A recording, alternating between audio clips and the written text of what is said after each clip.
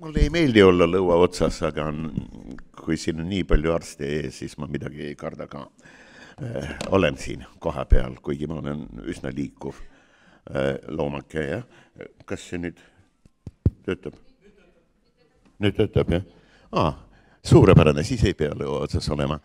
loomulikult ma tahan liikuda, selge see, sest ma olen bipedaalne, päris selgroogne ikkagi imetaja, mitte mingisugune sessiilne, ma ei tea, vahatäi, äh, kes tõesti elu jooksul liigub ainult varajases nooruses. Äh, ja muidugi, äh, kuna aega on väga vähe, ma alustaksin teie loal anekdoodiga. no tõesti, kes see inimene on, mille poolest on nii erinev? anekdoot on otse Inglismaalt pärit, ma olen kergelt anglomaania, maaniale kalduv, kohe lähen ka sinna siis kuulan uusi anekdoote. lugu on väga lihtne. Vaikses ookeanis, noh, see on kõige suurem, eks ole, ookean. Äh, üksikul saarel avastati mees, kes pääses hukkunud laevalt seitseteist aastat tagasi ja elas üksinda väikese korallsaarekese peal. mees oli täiesti korras, tal oli mõistus selge, tal oli mälu viimase peal doktor Alzheimerist ei olnud mitte midagi seal tema juures tunda ega kuulda, tal loomulikult riided või riied nii-öelda ersatsid, imitatsioonid olid vetikatest, aga tal hai hambaga oli habe aetud. ta oli täiesti korras, üksinda seitseteist aastat teda mm, loomulikult imestusega küsitleti, küsitleti, et kuidas see üldse võimalik on. ütles, kõik on väga lihtne, ma ehitasin endale klubi näete koralli tükkidest, vot siin ehitasin ma maja, kuhu igal õhtul, kui päike on vot nii kõrgel horisondi kohal, see on troopika, eks ole, umbes äh, kümme minutit äh, kuus läbi õhtul päike on nii kõrgel, viieteist minuti pärast on absoluutne pimedus.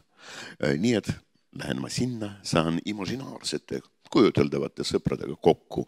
me arutleme poliitilisi, sotsiaalseid nähtusi, kindla peale räägime spordist ja loeme lehti, kõik nad on imaginaarsed. aga see on mul täiesti kindel päevarežiim. vaat nii ma elan, ma suhtlen. tänu sellele ilmselt olen ma noh, terve mõistuse juures. suurepärane aplodeerisid talle päästjad, aga siis keegi küsis, kuulge, aga seal on teine, täpselt samasugune maja. mis maja see on? ja mees ütles, see on teine klubi. aga vot sinna oma jalga iial ei tõsta. moraal. meie huvitaval liigil, kelle nimetus eesti keeles, nomenklatuurne zooloogiline nimetus on no teeb minu hingele pai õusõna, on päris inimene, üks sõna loomulikult, eks ole. mitte otsetõlge nagu noh, alamliigi nimetus on homo sapiens sapiens, eks ole. oli homo sapiens neandertaliensis ja meie äh, genofondis on temast päris palju, nagu viimati selgus. kuid jah, otsetõlge oleks liiast, tark, mis tark inimene oi,. oi-oi-oi, mu sõbrad ma olen nelikümmend neli aastat loomaaiaga seotud, ma olen selliseid asju näinud, et ärme sellest räägi. päris inimene, suurepärane nimetus, kõigeks võimeline ja eelkõige on võimeline vaata, luua endale vajalikku stressi. kui ei ole pinget, tuletage meelde Oomi seadust, ei ole voolu kui ei ole voolu, no mis elust me räägime, see on Topis muuseumis parimal juhul, eks ole. ja sealgi on mõni koiliblikas, kellel on ikka mingisugune pinge organismis. nii et äh, paraku fantastiliselt huvitav liik, äh, meie, meie liik, päris inimene, on tõesti unikaalsete võimetega. vaadake, Friedrich Nietzsche no, väga resoluutselt nagu kõik, mida ta väitis, eks ole, ütles õiget asja. Äh, teadmiste saamise, hankimise, teadmiste otsimise ja kogumise aluseks on võimutahe. no see on Nietzsche'likult öeldud, kuid kui me võtame tõesti üldiselt filosoofiliselt seda aforismi, me näeme, et tõepoolest nii see on. Võim kui kontrolli võimalused, kontrollivõimed, mille üle? ressursside üle, ressursside jagamissüsteemide üle, ressursside kasutajate üle loomulikult oma konkurentide, vaenlaste, loodusnähtuste ja nii edasi üle. ja see, see võim, selline kontrollivõime on see, mida me kõik taotleme, loomulikult. Ainult inimesed on võimelised mitte lihtsalt hankima teadmisi selleks, et vot seda teostada ja, ja täiustada vot sedasama äh, võimutahet, äh, vaid ka seda fikseerida, arendada, edasi anda, sest meil on vot seesama kontseptuaalne ehk sõnade abil mõtlemisvõime ja loomulikult me kõik teame, et äh, sellega on seotud väga kindel võime, kindel omadus, nimelt surma mõiste. Te olete arstid, te ei karda, ei peaks kartma seda sõna, eks ole. ja surma mõiste on aja mõiste ema, mitte vastupidi. nüüd meil on siis olemas aja mõiste, järelikult minevik, olevik ja tulevik on meie jaoks reaalsed mõttelised valdkonnad ja asjad. meie siis hankides informatsiooni töötleme seda ja selle toetades, tahtes kontrolli täiustada, planeerime, no kasvõi oma progressiivselt arenevat majandust, mis on selle planeedi jaoks absoluutselt hukatuslik. aga teisiti me praegu ei saa, me ei oska teisiti, see on väga suur probleem, väärtuste probleem ja väärtuste algallikaks on loodus. Spinoza juba sai sellest aru Äh, nii et sel teemal ma siis praegu rääkima ei hakka, ma siin viskasin mõned sellised vastikud killud, palun vabandust. ja aga mm, kuna aega on väga vähe, siis ma tõesti läheksin puhtzooloogiliselt, vot selle väga huvitava liigi juurde. kes on zooloogiliselt inimene? hõimkond selgroogsed, aga võta näpust. S-kujuline selgroog bipedaalsus, nii et terve see meie ülakeha, meie loomulikult ähm, pingete jaotuse seisukohalt ideaalse kujuga ja ideaalsete liikumisvõimetega, eks ole, selgroog, see telg. see toetub suurele vaagnale sellisel moel, et väike vaagen läheb praktiliselt peaaegu ristluu vastu.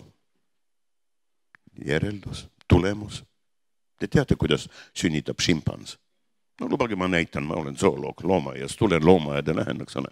ta istub oksa peal, siis upsti, kelle oma? nuusutab natukene, vaatab, oi, minu oma, milline rõõm.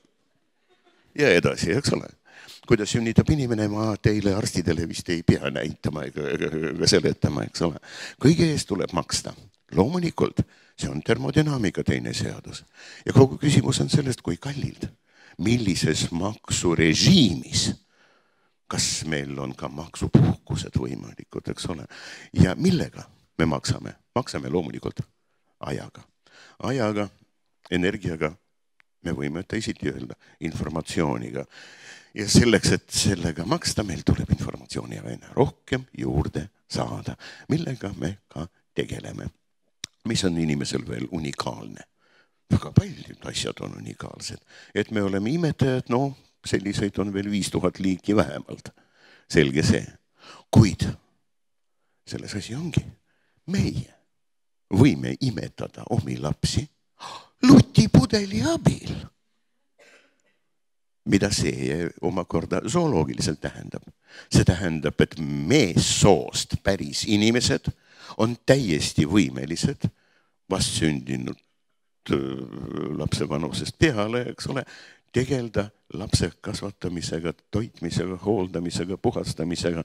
no ja kui on tuttavad arstid, siis ravimisega ka, eks ole. täiesti iseseisvalt. vot ühtegi teist sellist imetajat ei ole, kuigi terve meie selts ja nüüd me jõudsime juba meie seltsi juurde, eks ole.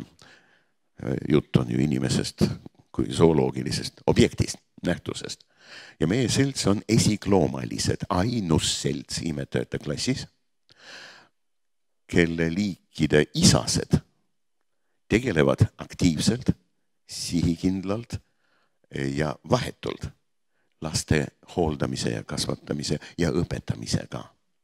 Noh, üks lihtne näide, eks ole, mitte inimeste, siis teiste liikide valdkonnast.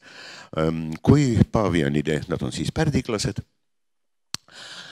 väga suur vanamaailma pärdiklaste, nad on siis alamad kitsaninalised ahvid, me oleme kõrgemad kitsaninalised. loomulikult vanamaailmas pärit, selge see. nii et jah, pärdiklaste väga suur sugukond koosneb liikidest, kus Riigikogu koosneb ainult omavahel suguluses olevatest täiskasvanutest emastest. No offense to anybody, jah ikkagi pärdiklased. Inglise keeles on väga hea, väga hea keel, tõesti, ma olen kalduv tõesti anglomaaniale, jah. Female kin censured society. mida teevad siis isased? loomulikult nad tahavad jõuda kõrge ametipostile. emased määravad neid. kuidas seda teha?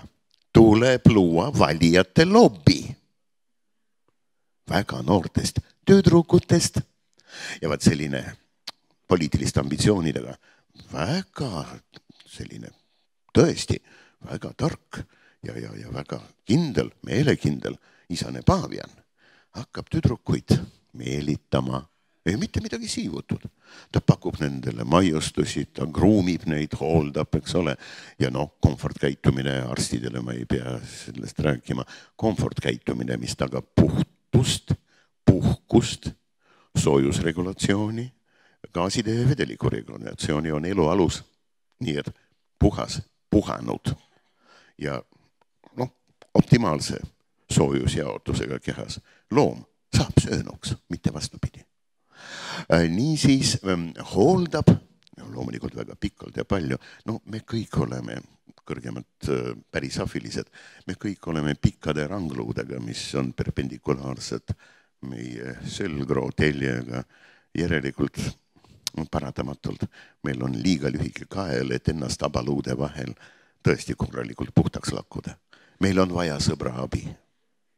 kõikidel ahvidel on seda vaja, selge see.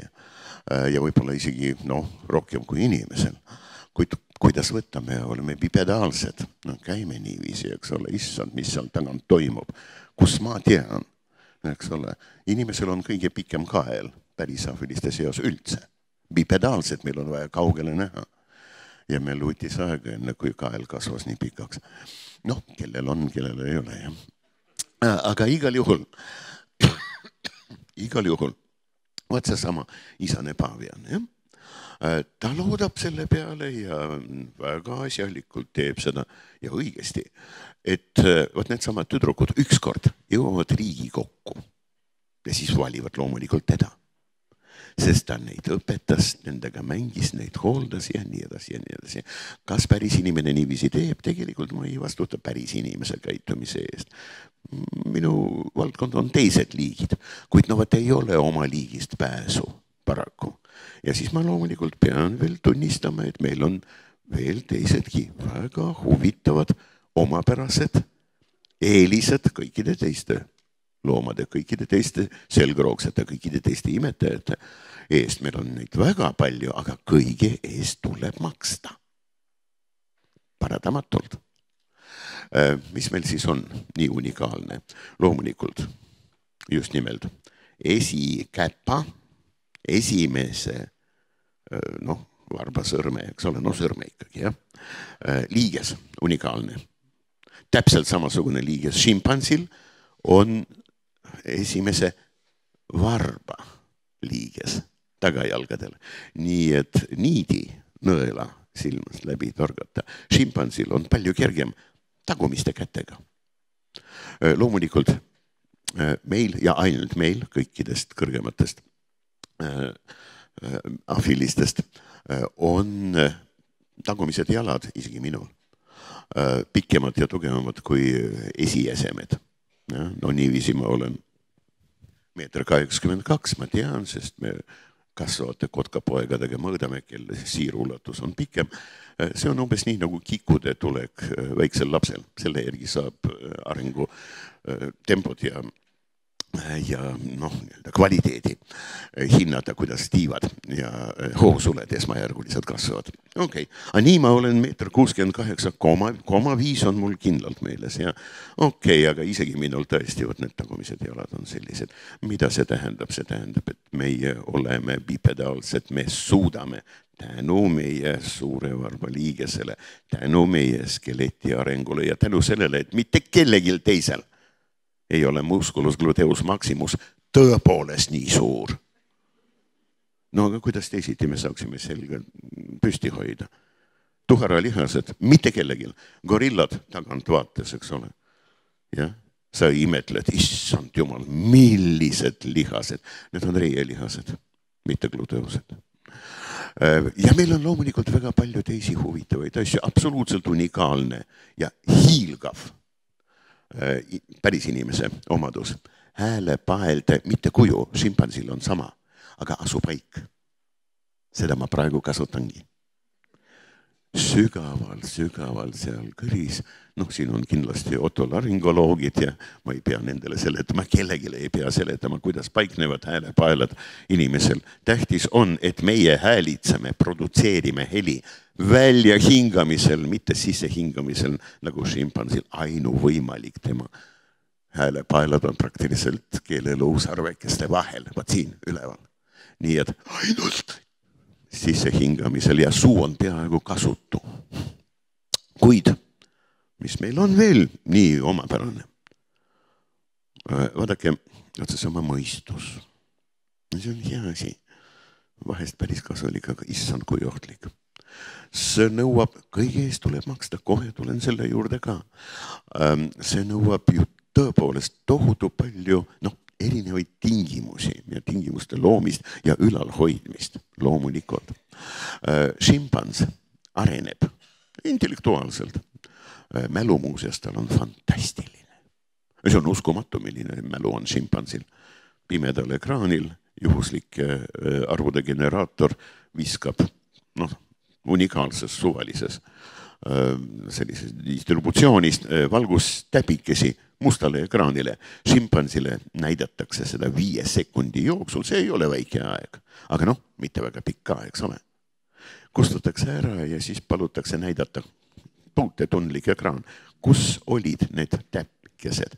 ta näitab üheksakümmend kuus, üheksakümmend seitse protsenti kahesajast suvalises korras talle viie minuti jooksul eksponeeritud, viie sekundi jooksul eksponeeritud täpikestest, ehm, no vot nii palju, jah, näitab täpselt. järgmisel hommikul tal on ikka peaaegu kaheksakümmend protsenti meeles selline mälu, jah. inimesel on mitte halvem, ainult et mida me oma mälu teeme no ja siis doktor Alzheimer, okei okay,, olgu sellega, kuidas on.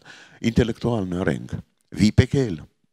häälitseda niiviisi šimpans ei saa, kuid viipekeel ideaalselt sobib šimpansile ja kui ähm, neid katseid on väga palju tehtud ja tehakse edasi, kui hakatakse õpetama viipekeelt väiksele šimpansile, vastsündinule šimpansile ja inimlapsele, kes elavad koos.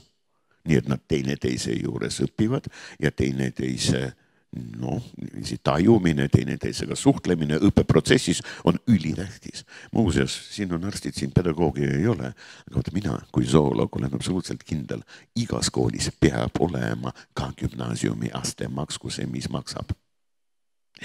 see on zooloogiline soovitus, eks ole. okei okay,, aga noh, see selleks.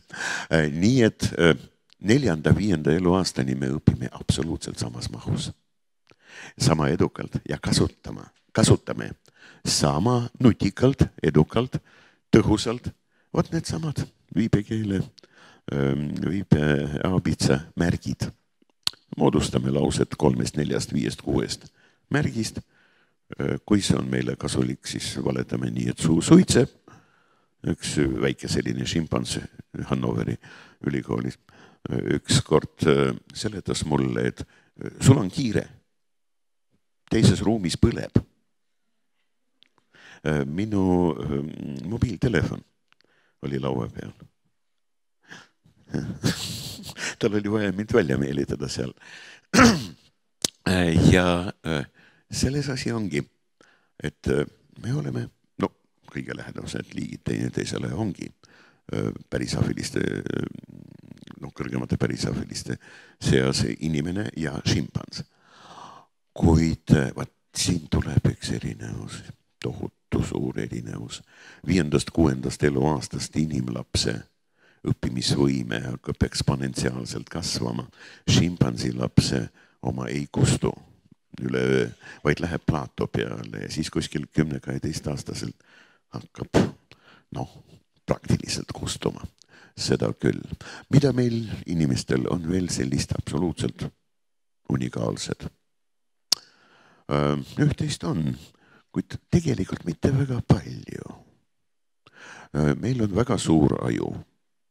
pruunkaputsiinil aju indeks on suurem peaaegu kaks korda kui päris inimesel ajuindeks, noh, organi indeks loomulikult te teate, eks ole, see on organi massi suhe sisuseta, kõhuõõne sisust on siis jutt, eks ole, mille mass ja ruumala muutub ja, ja väga suurtest piiridest, noh, te teate, et inimese maks võib normi piires isegi vist meditsiinilise, bioloogilise normi piires, mis on loomulikult palju laiem kui meditsiiniline ja bioloogilise normi piires kaksteist ja pool korda mahu poolest, eks ole, ja vastavalt vett sisse.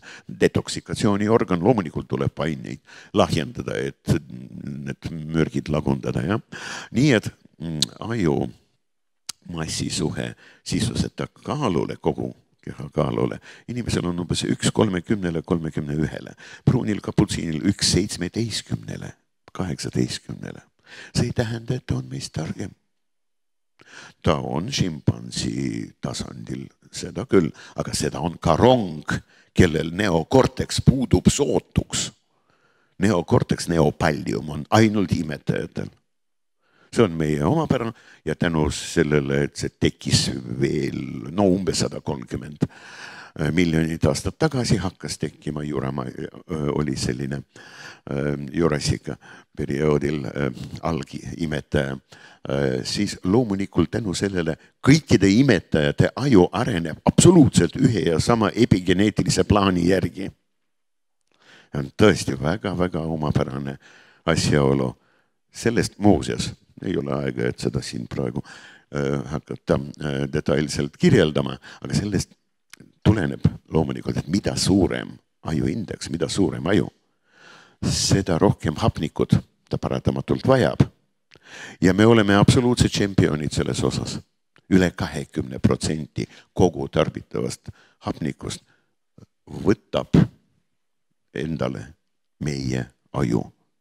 Sõbrad, see on parasitism.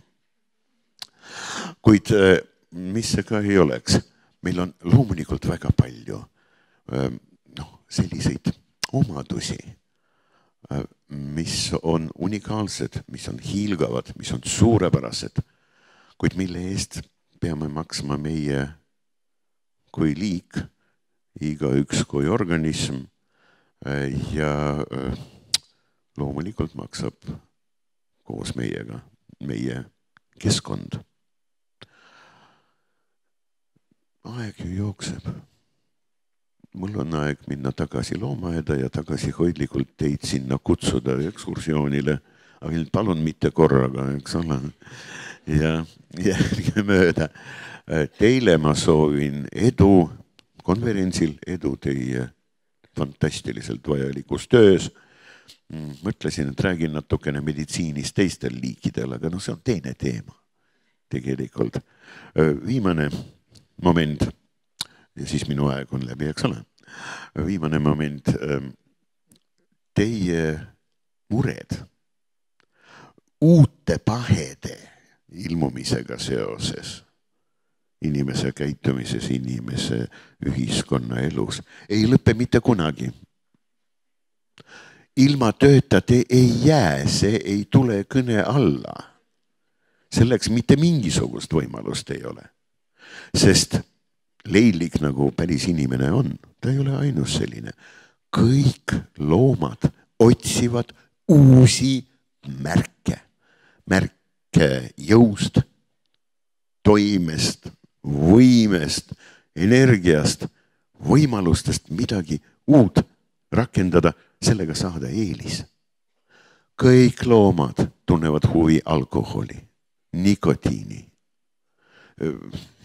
No fentonüüli ja endorfiini vastu loomulikult ka mingil määral. ma olen Madagaskaril näinud kirileemurid, mul loomaaias praegu on, neid on kuus, paljunevad suurepäraselt, suured mustvalged kollaste silmadega, fantastiliste sabadega, imekaunid loomad. Ja vot see lontrus istus oksa peal ja lutis tuhat jalga. sest tuhat jalg on absoluutselt kaitsetu loomake ja ainus võimalus natukenegi peletada kuidagi niiviisi, repelleerida võimalikke vaenlasi, ehitada midagi, no mis meenutab maasikajogurtit, sellist vedelikku ja mis lõhnab nagu Moskva metroo rongitunnelis. kuum metall, põlev kumm ja mine tea, mis veel, eks ole. no kole, no vastik, no jube, aga äkki sellest saab asja. ja sellest annab asja, sest see on hallutsinogeene täis nii et seesama leemur istus seal, hõõrus ennast sellesama äritatud tuhat jalaga, sellega ta kahtlemata sai kasu. sest puugid, kaanid, metsakaanid ja loomulikult kõik teised ektoparasiidid, kisendades või mitte, aga lahkusid tema pealt. loomulikult selline tõrjevahend, kuid ta peab ennast ka lakkuma ja ta maitses seda elukat ja siis ta seal nautis narkopilves olekut. ma, ma olin lummatud, kaks tundi ma ei liigutanud ennast, seni kuni ta ükskord kukkus seal Madagaskari nõgestesse. ma tulin ligi, katsusin näpuga, noh, kas teen talle äh, CBS või äh, ei, ei, ei, ta no ellu jäi. aga no vot, see on inimesele omane miljon korda võimsamalt, igapäevasemalt Ähm, kui kõikidele teistele loomadele. nii et olge muretu. tööst ilma te ei jää. aga ma tahtsin veel, noh, kuna on selline võimalus, teid tänada, sest äh, tänu hiilgavatele Eesti arstidele ja eelkõige algupäraselt äh, minu perearstile, doktor Pikalov ma üldse olen elus kusjuures kaks korda. Eks ole, pidin nagu minema kaugele. Ja nüüd ma lähen mitte nii kaugele loomaaeda, mõnusat päeva